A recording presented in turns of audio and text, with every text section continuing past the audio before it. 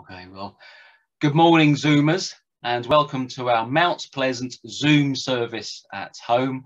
Uh, thank you for joining us, and if you're joining us for the first time, welcome. It's great, to, it's really great uh, to see you. It's what a wonderful, beautiful morning um, that we have. It's uh, God has blessed us with a wonderful day. And if anyone who doesn't not know me, and for the purposes of the YouTube recording, my name is John McGarrigle, and I'm a deacon at Mount Pleasant Baptist Church in Blackwood. And this morning, as we know, we're joined by Reverend Mark. Mark's going to be bringing us the Lord's message. So thank you ever so much, Mark, and uh, pleased that you are on the mend and uh, is as well. So that's really a blessing, a blessing to hear. If anyone hasn't got a Bible, you've got time to grab one, and it'll be the reading. It will be from Luke chapter 10. And Graham will be kindly leading us in prayer. And Graham, hopefully I've got that right. I've, got, uh, I've got brilliant, excellent. And Karen, as usual, will be whizzing around behind the scenes on Zoom, making sure all the technical stuff works and making sure that we have a smooth service. So thanks to everybody who is taking part this morning. And as I said, it's a beautiful morning. And of course, it's Mothering Sunday. So it's a wonderful, I hope you're all having a wonderful day. I hope you've all been showered with gifts and you're being spoiled and you've got chocolates and uh, and flowers and you'll be taken out to lunch and really looked after. And you really are a blessing to us all. And we uh, lift you up to God and give thanks for all the mothers and mums of this world. Um, but also want to lift up all women. All women are a blessing. So uh, again, we give thanks to them all. And talking of blessings, this week I was blessed on Thursday evening when Karen and myself, we joined the online Baptist Union of Wales uh, meeting.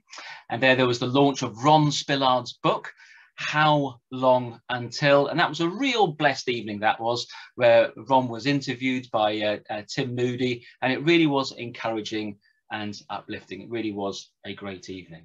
So it's great to see you. It's a lovely, beautiful morning. Hope you're having a good day and, uh, and you've had a good week. So before we get into the main part of our service, let's open in prayer. Let us come before the Lord in prayer. Let's settle our minds and our hearts and our spirits, and let's focus on our Lord. Let us pray. Father, we thank you for today and this time of worship and fellowship together.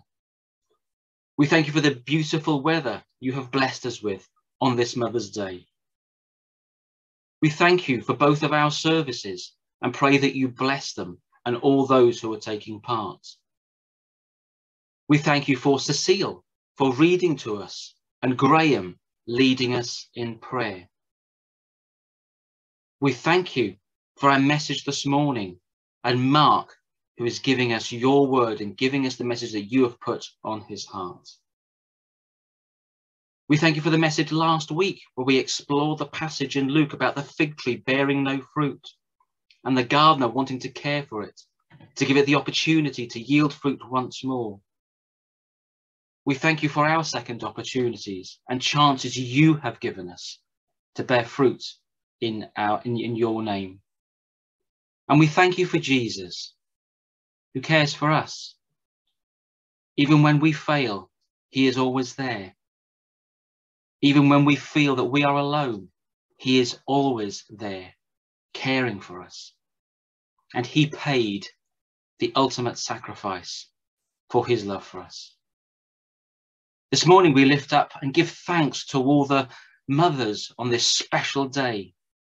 We thank you for them and pray your blessing for them.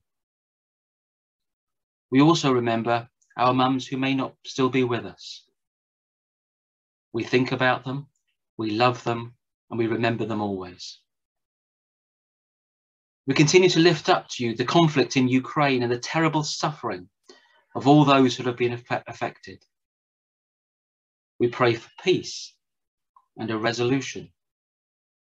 We pray for the aid workers, the medical teams, the charities trying to bring healing and care into the situation. Please protect them. And we pray for the escalating humanitarian crisis of those leaving the area and going to other countries. You taught us to love thy neighbour. And I pray that in whatever way possible, we will follow your teaching and be the best neighbour we can. And we will care and be there for them. So as we come before you this morning with these difficult, distressing matters on our hearts, We come with the hope that only you can bring, and we thank you. We come to worship you and pray that you are with us this morning. In the name of your precious Son, Jesus. Amen. Amen.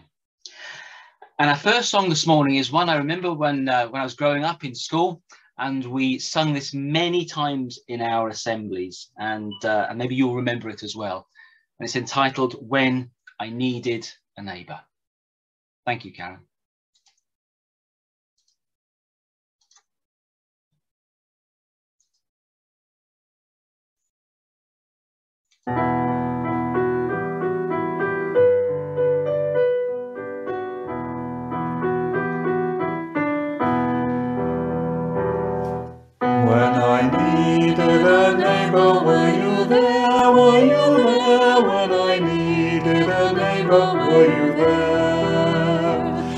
The creed and the color and the name won't matter, were you there? I was hungry and thirsty, were you there? Were you there? I was hungry and thirsty, were you there? And the creed and the color and the name won't matter, were you there?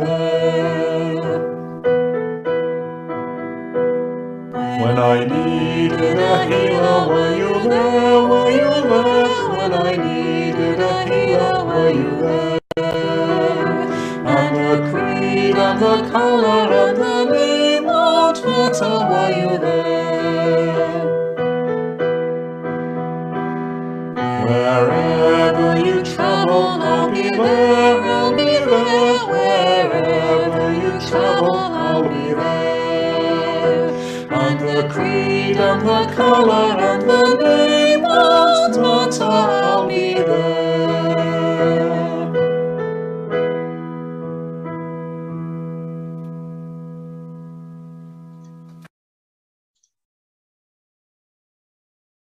And that's a song I remember very well in school, and uh, hope uh, you remember that song also when I needed a neighbour. So I noticed this morning, um, I'll give you those now. Sandra Bray has kindly provided me with those. And so on Tuesday, there will be the usual tea break at 10.30 on Zoom that Karen will be hosting. Um, unfortunately, it isn't possible to open the church on Wednesday as Sue Thomas um, and Sandra had planned in order to be open for prayer. But we'll be opening the following week between two and three o'clock in the afternoon. And of course, we can still all pray at home during that time. So the church won't be open for prayer this week. As mentioned last week, our church members meeting will take place this coming Thursday at 7.30 p.m. So this Thursday at 7.30 p.m. And that's, that's both here, um, in the, both here online and also in the building. And the minutes and the agenda are being emailed out. But for those who prepare a paper copy, Sandra um, will bring some with her. So uh, they can, uh, anyone can speak to Sandra um, during the week to, to get a copy of those. If anyone is going to the building, they'll be available there on the evening. Uh, Reverend Mark has been re recovering from COVID and has been able to prepare the next set of daily readings, taking us towards Easter. So if you'd like a paper copy, they'll be available in the table in the conservatory. And I find that when those are emailed to me, I always print them out anyway because I find them easier to, to read actually in front of me on paper rather than uh, in front of me on a screen. It's not everyone's the same, but uh, that's what I that's what I prefer doing. An early reminder for our diaries is that on Maundy Thursday at 7.30, we'll be having a service um, in the building, which will include communion. And finally, if anyone wishes to make a donation to the DEC appeal, please could you let Susan Steele have it before the end of this month? So if we could do that before the end of the month, please. Okay, let's have our next song, which is Praise to the Lord, after which Cecile will then be reading from Luke chapter 10, and then Graham will lead us in prayer. But our next praise to the Lord. Thank you, Karen. Thank you.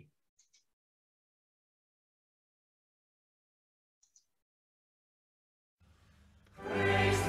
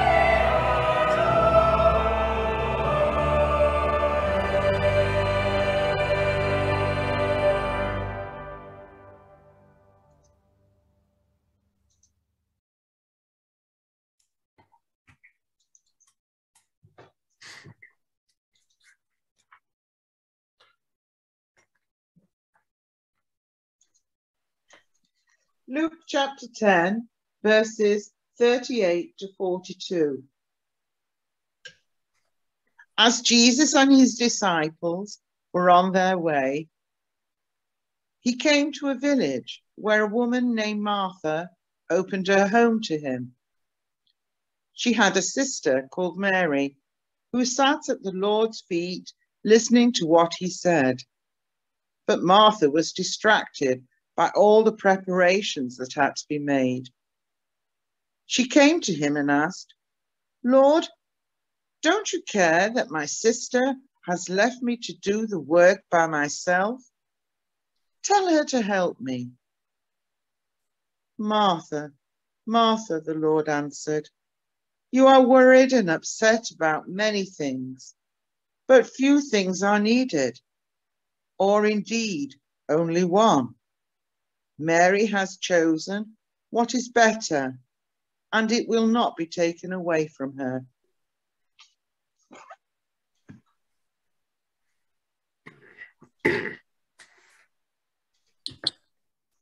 Thank you. Let's join together in prayer. Let's pray.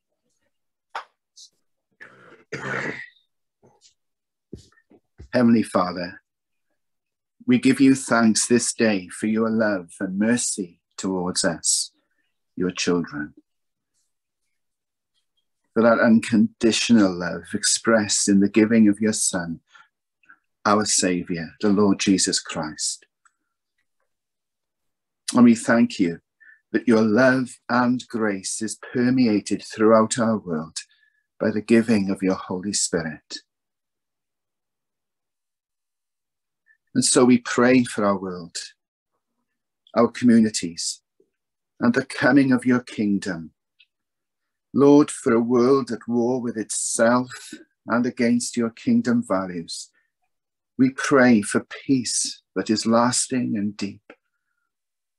A peace that does not depend on human power and authority, but is founded on submission to your word and acknowledgement of your sovereignty. We pray for world leaders and governments that find their good intentions hijacked by circumstances and who become desperate to hold on to their position and power. We pray for those leaders who use their power for their own ends and ignore the suffering of their people. We pray for those leaders who have a vision of a world at peace and an end to injustice and suffering, but become disillusioned with the limitation of humanity's ability to achieve it. Lord, in your mercy, strengthen the peacemakers. Raise up leaders, Lord, who put their trust in you and speak and act in the power of your Spirit where the enemy rushes in like a flood, may we see your standard be raised against him. Lord, we thank you for the light that you have brought to our world and how you have created the church to be the means of bringing that light to shine in the darkness. Wherever your light is shining, Lord, may people be brought into the safety of your kingdom released from the captivity of poverty or riches, sickness or health, exploitation or being the exploiter. May your light so shine that people may see the good things of your kingdom and the truth about the Lord Jesus and learn to follow him. And Lord, on this day, we thank you for the blessing of family and the gift of motherhood. Thank you that we are made in your image and that a mother's nurture, love, and care is a reflection of your divine nature. We pray for all mothers and the many situations they find themselves in today. We pray for the children in their care we pray for the family units they are part of and the legacies they leave. We pray for those who, for many reasons, have failed in the responsibilities of motherhood. Lord, in your mercy, protect, we pray, the nature of motherhood and for each individual. Bless with your presence through the joys and sorrows the celebrations and the disappointments, the strengths and the weaknesses, the welcomes and the rejections. Lord, we remember those known to us who need you in special ways at this time.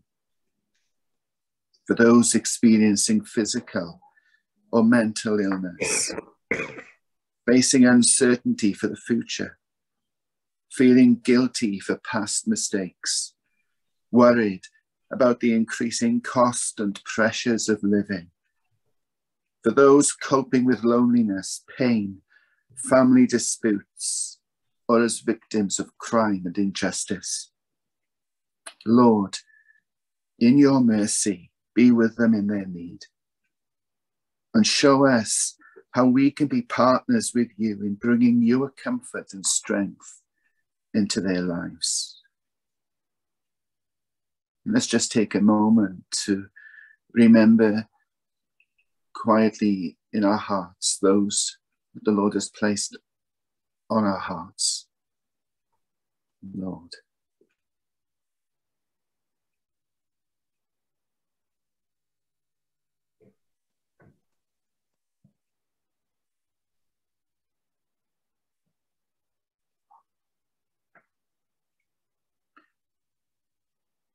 Merciful Father, may your word to us this morning be the encouragement we need to respond to you in worship and in service. Bless Mark as he shares your word with us and as we share together in communion. May we recognize your presence amongst us and your people throughout the world.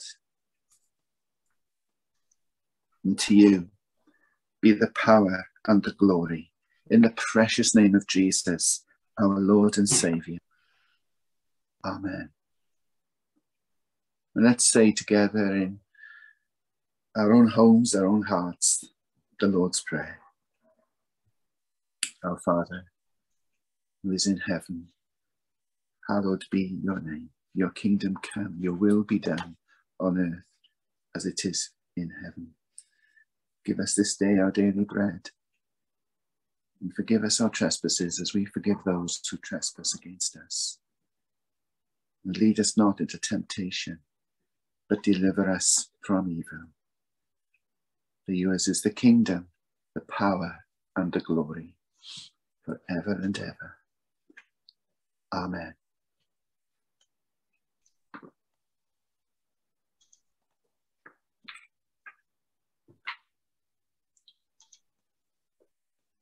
Thank you so much, Graham. Thank you for that beautiful and wonderful prayer. Thank you. And before we have Mark's sermon this morning, we will sing our next song.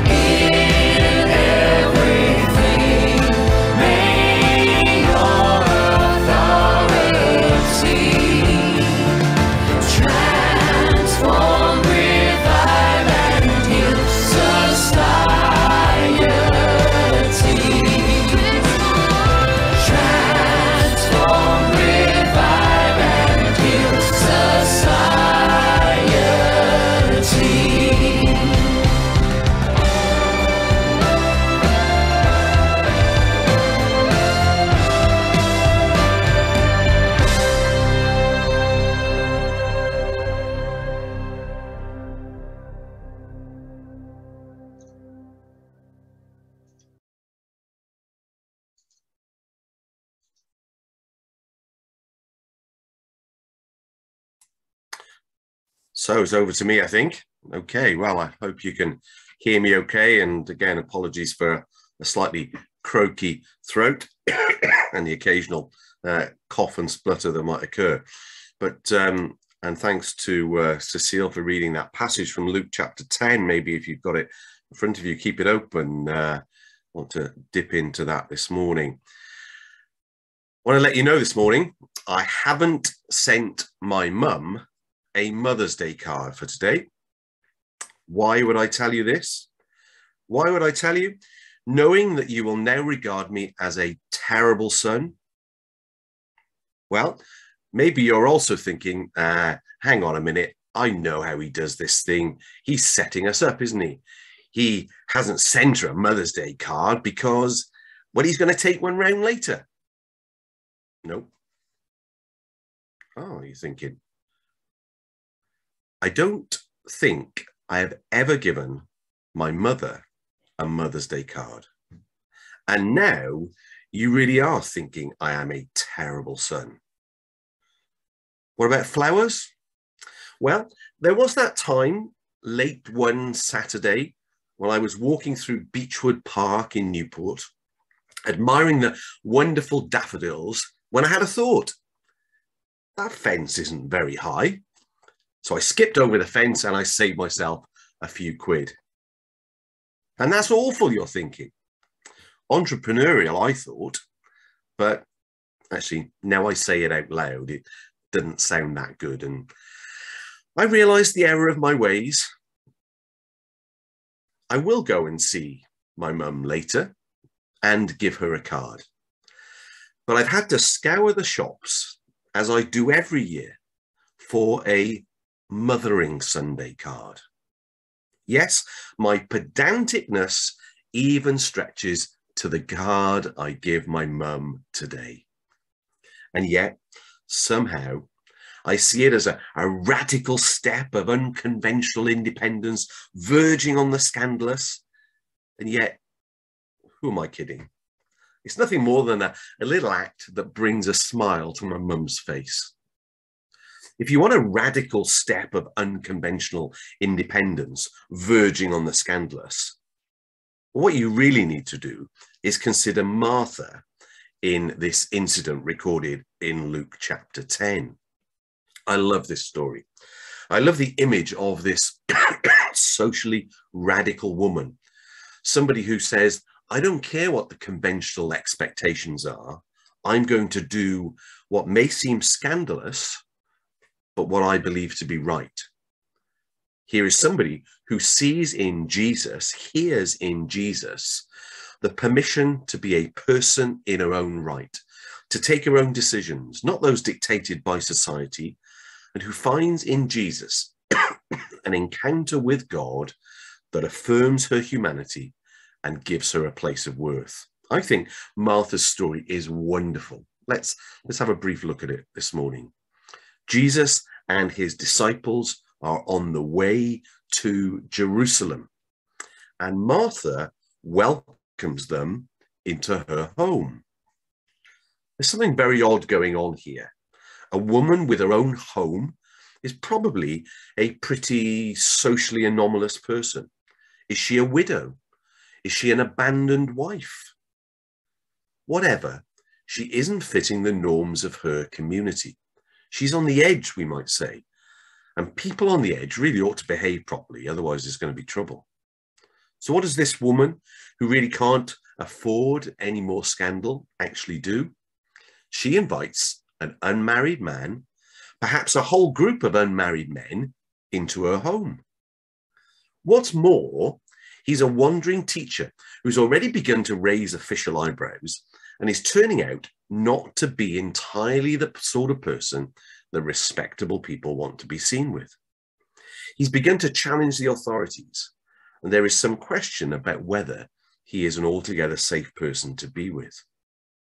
But Martha takes the enormous risk, puts herself outside the social norms, and invites Jesus in, regardless of what it will do to her reputation and that of her sister, for whom she appears to have some sort of responsibility. Perhaps she is the head of the household. And Jesus comes in. he accepts the offer she makes. He comes in and treats the occasion seriously. He doesn't just sit back and uh, allow everything to be half hearted and safe. He comes in and he teaches.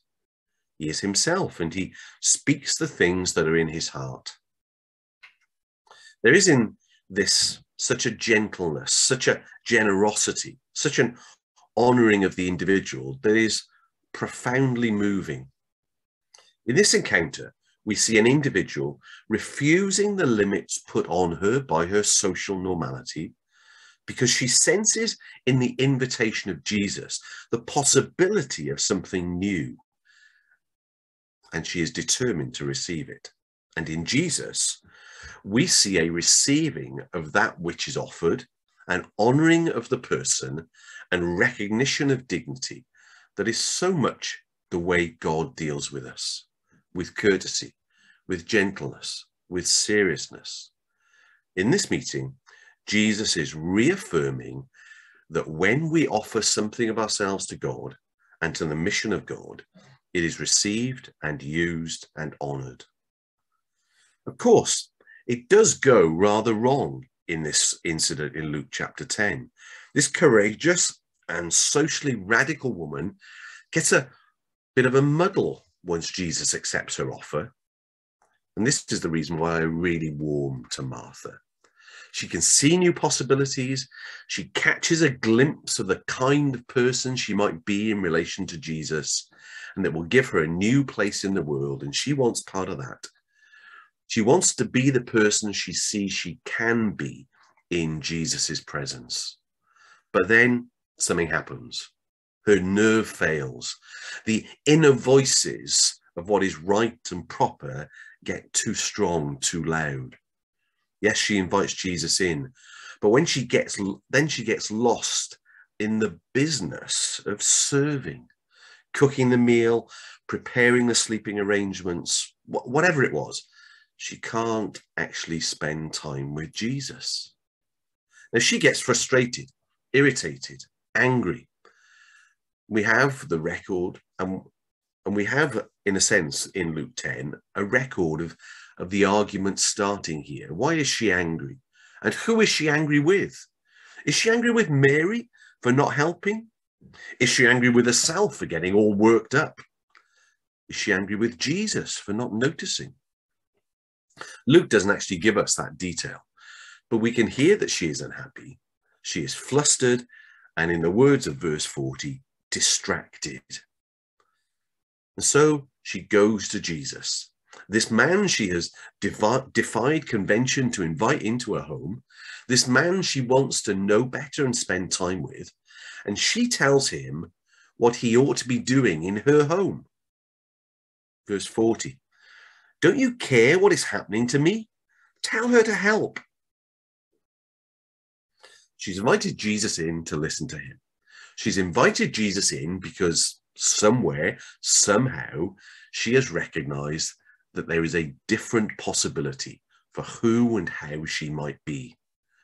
And here she is accusing him of not relating to her, not recognizing her, not telling her what he ought to say. How did she get into that state?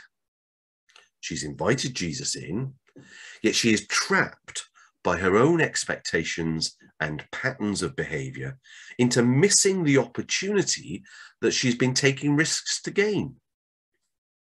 Well, Jesus tells her very gently and lovingly that she is distracted. She certainly seems to have her mind and her attention on other things. On the presence of Jesus, well, she does speak to him. On the things that need to be done, well, because that's what she speaks about. On her sister and her sister's lack of proper behavior, because that is the heart of her complaint. And Jesus points out to her that this scattering of attention, this scattering of energy, is not what is needed. Then there is the difficult bit of the story, as if all that wasn't already difficult enough. Verses 41 to 42 seem to indicate that Mary is praised. Mary. Well, hang on, Mary is pretty unconventional too in this story. She sits, according to Luke, at Jesus' feet to listen to him teach. Now, this is a technical description of the behavior of a disciple. And it's not the sort of thing that a decent woman did, nor indeed a decent rabbi allowed. Mary, too, you see, is defying expectation. Not by not helping with the housework, or at least only indirectly, but by taking the invitation of Jesus seriously to be a disciple. And she is recognized for that and praised for that. The story isn't really about Mary, to be honest. It is about Martha, Martha's choices and Martha's dilemma. Having made the choice to invite Jesus in, she appears to want to carry on with her life the way she thinks it ought to be. And who can blame her? If you invite somebody into your home, it is proper to care for them. It would surely not simply be a breach of social norms, but of hospitality to have invited him in and then not to have taken the responsibility of being a host seriously. And so Martha makes the choice to invite Jesus in, but then assumes that her old patterns of behavior and thinking are going to be appropriate to this situation and they're not. That is what we hear in the words about Mary. Mary has spotted something new, something different, and is prepared to go with it, to let go of her expectations and assumptions, and to see what happens. Even in the face of disapproval of the one who is perhaps closest to her than anybody else. Is that what she is being praised for? Certainly, there seems to be approval for her willingness to let Jesus set the agenda, rather than trying to make things fit according to her own preconceptions. Whereas Martha, well, Martha has invited Jesus in, but perhaps has not allowed the implications and realized the implications of that yet. if she invited him in and then spends all the trying time trying to care for him, what is the agenda she has? That Jesus comes on her terms, that she will remain in control, that she is in charge of this situation, that Jesus, Jesus should keep her rules? which of course is the other reason why I love this story. It's a marvelous story about an unconventional woman who, in many ways, is a fantastic role model and yet who gets it wrong. She does this amazing thing of inviting Jesus in, of challenging assumptions, and then she gets cross when her sister does the same thing. It's as if having invited Jesus in, she can't cope with the consequences of it, can't manage the reality of it. Because when Jesus is there, the rules change. And what she had thought life ought to be about turns out not to be the case. By inviting Jesus into her home, into her world, she has actually stepped into his world. And it doesn't work the same way. The rules are rewritten and the roles are challenged. And while that might be okay in theory, what Martha discovers is that it's not always easy in practice. By inviting Jesus in, she is having to let go of the belief that she can make her own rules and sort things out to suit herself. And that really is a risk. And of course, it is not just Martha's. Mary is taking the risk too. Sitting at Jesus' feet and learning means learning what Jesus is teaching. So she cannot go on as if nothing has happened. She cannot get to the end of the evening and say, Oh, yes, very interesting, Jesus, and then go back to her previous way of living.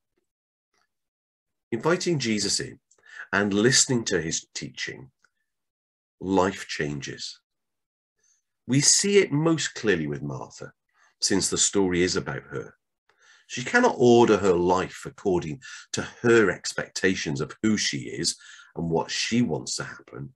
She cannot invite Jesus in and then tell him what to do.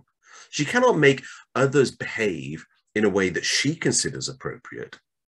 She cannot be one who she what cannot be the person that she was before she took the risk of inviting him in. And that's the challenge in meeting Jesus and inviting him in. We can't be quite sure how it's going to turn out. We can't control what he's going to do or ask of us. We can't allow him to be part of our experience and then expect our experience to remain unchanged. And we can't meet him in isolation from our relationship with others and how we function. Meeting Jesus is important for most of us who have gathered here this morning that's something of the reason why we meet, isn't it, on a Sunday? And we might speak of it about meeting Jesus in different ways and use different words and have different language to describe what we mean. And for many of us, meeting him in whatever way is doing something that is slightly socially odd and a little bit strange in our society. Now, some people might judge us, some people might talk about us, perhaps not us, because, well, our friends are probably supportive of us. But it doesn't mean that wider society doesn't still regard attending church online or in a building as a little bit unusual. Our risk, though, is nothing in comparison with the risk that Martha took. Martha took a big risk of inviting Jesus into her home when we invite Jesus into our home, into our lives, we're basically inviting ourselves to place ourselves in a place where we hear him teach us and aspire to live according to his teaching. And we offer ourselves to his work. We can't expect him to fit in with our patterns, with our expectations, with our hopes. No, we need to align ourselves with him. If we take the risk that Martha knew she was taking, we too find that we are affected. It may be less strange for us than it was for her. We might get less angry uh, than she did. But the promise of this story is that life and fulfillment and freedom are found in inviting Jesus in and being changed by him. Martha thought it was a, a risk worth taking. I think he is a risk worth taking. Don't you? Let's pray.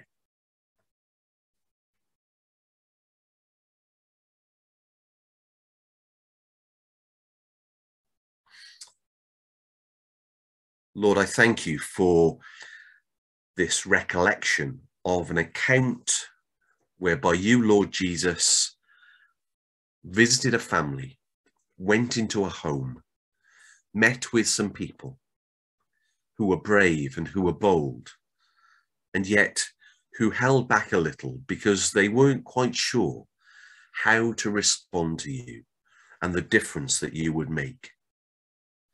And these few verses in Luke's gospel are packed full of wonder and of hope for us to both learn the lessons that Mary and especially Martha learned and to apply them even beyond what they were able to do in realizing that you, Lord, in our lives make a beautiful and wonderful transforming difference. So forgive us when we have not allowed you to make the difference in our lives that you long to do. And help us to be renewed and transformed on this day and for the days ahead for your glory. Amen.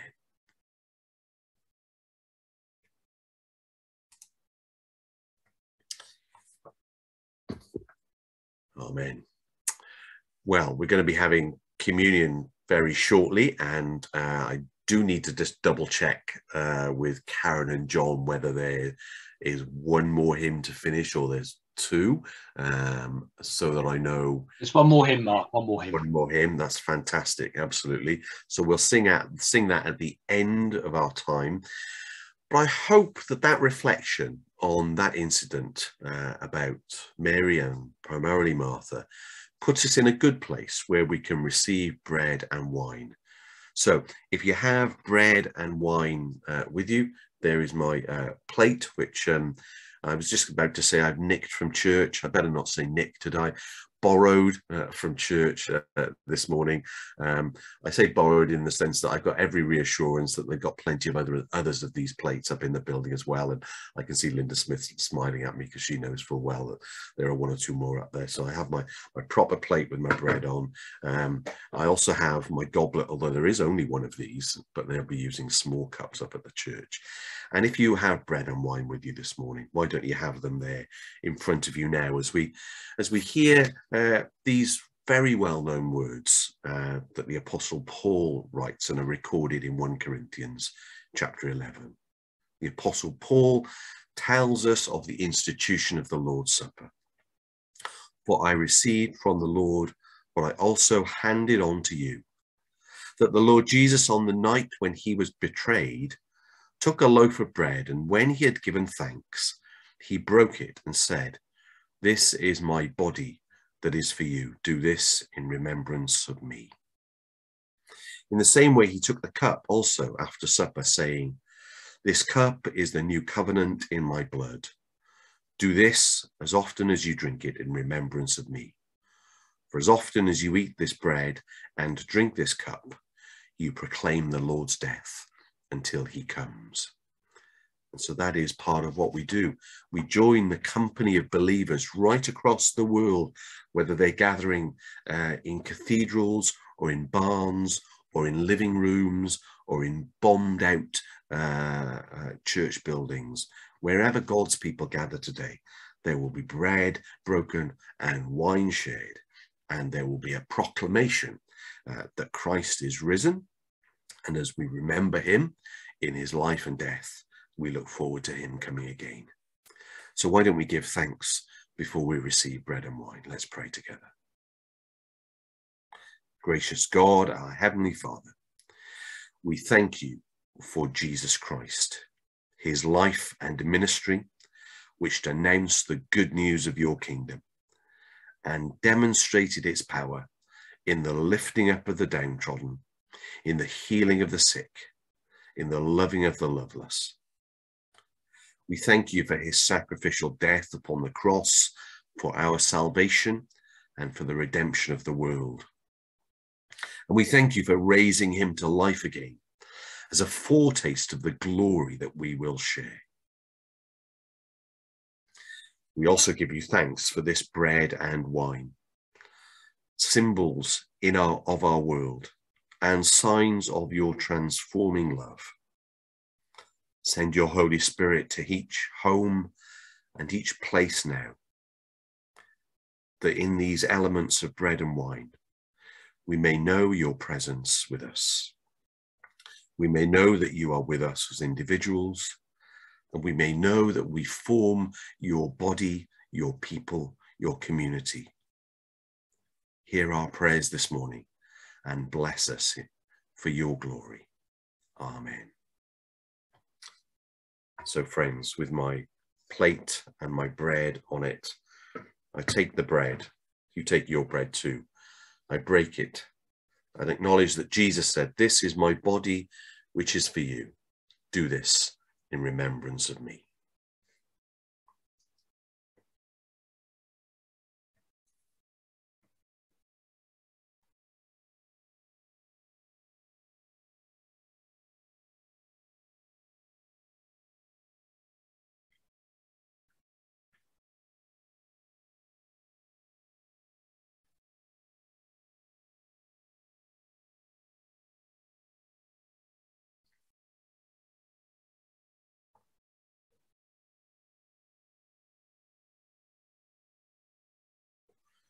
His body broken for us, and his very lifeblood given for us. And so, with some form of juice uh, to hand, and my goblet with my uh, wine in, let's acknowledge that Jesus said, This cup is the new covenant sealed by my blood. Whenever you drink it, do this in memory of me.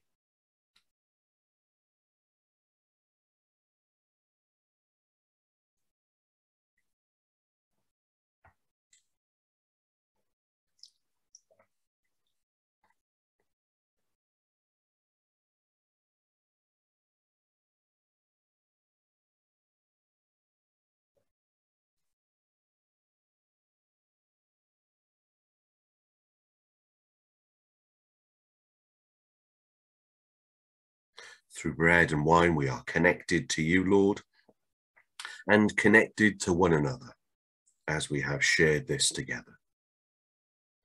And in doing so, we, we commemorate your death. We celebrate your resurrection. We anticipate your final coming. And for the past, the present, and the future, we say all the glory goes to you, Lord.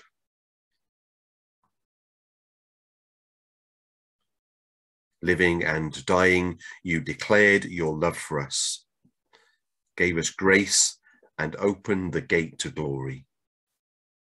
May we who share today in this way celebrate both at this moment and in all that we say and do and share with others today. May all the glory go to Jesus Christ our Lord. Amen. Moment, friends. So before we depart, we'll we'll say the grace together. But before we do that, let's sing one more time, shall we? I don't know what you've got lined up, Karen, but uh, do let us know.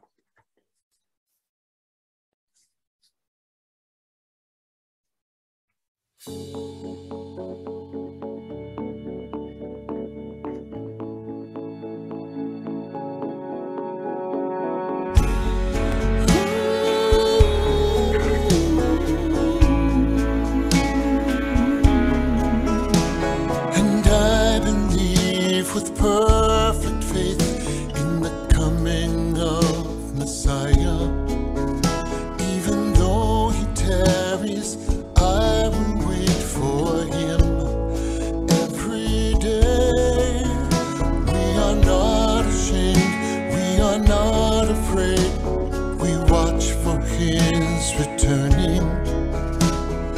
You were our salvation. We pray.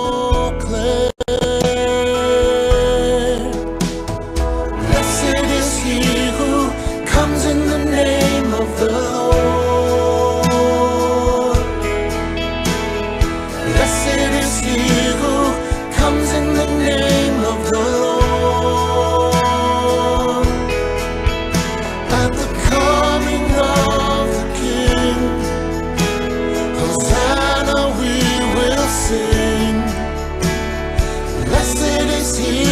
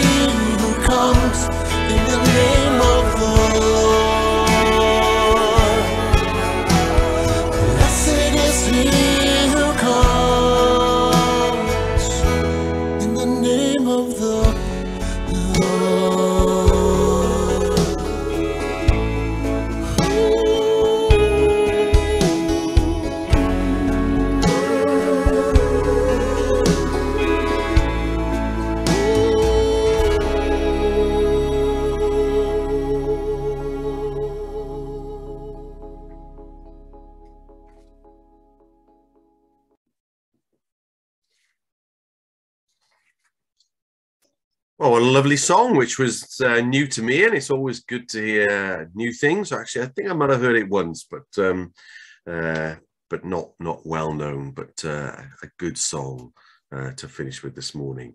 So um, uh, John looks as if he's geared up to say something, but uh, I will, but I'll wait till you finish, Mark. oh right, okay. Well, I was just going to get us to unmute everybody and share the grace together and hear that crazy cacophony of voices that um, that I know we don't always do, but sometimes we do do. And uh, and having not done it for a while, there's that novelty factor, isn't there? Really, of, of hearing the voices, but something wonderful about it too. Really, I think. So um, I'm just going to suggest that. Well, it looks to me as if everybody online is is now unmuted, and um, well, with boldness, braveness, or, or, or, or under your breath, feel free to, to, to speak out the grace to those folk that you can see uh, staring at you out of your seats, uh, out of your screen. That, that, one, two, three. Here we go. One, two, three. May the grace Grace of our Lord Jesus Christ and the love of God God, and the fellowship of the Holy Spirit be with us all now. evermore and evermore. Amen. Amen. Amen. Amen. Amen. Amen. We all got to Amen eventually. Indeed, we did. And all I wanted to say, Mark, only very, very briefly, thank you so much for that uh, message this morning. I just wanted to pick up sort of, sort of one, one thing, really, or two things that, that you mentioned there, is that Mary spotted something new and let go and let Jesus set the agenda. And it's great because we could put our names instead of Mary, we could put our names, and we prepare to really um, spot something new in Jesus and be prepared to let go and and let Jesus set the agenda. and it is a challenge. It's easier said than done. It really is a challenge, but that really resonated in my heart. And again, the, one of the final things you said is that freedom is about inviting Jesus in, and it's a risk worth taking because following Jesus does come with risk, but it really is a risk worth taking. So thank you so much, Mark, for that really, Oh, really powerful message. Thank you so much. So thank you all for joining us this morning. It's been a real blessing to, to, to be with you on this wonderful, beautiful day and this uh, this Mother's Day, Mothering Sunday. I hope you have a fabulous day. If you're going to stay for the breakout rooms, um, please do so. If not, you need to dip off or and go and have your lunch. You know, thank you for joining us and really look forward to being with you again next week. So uh, God bless and have a great week.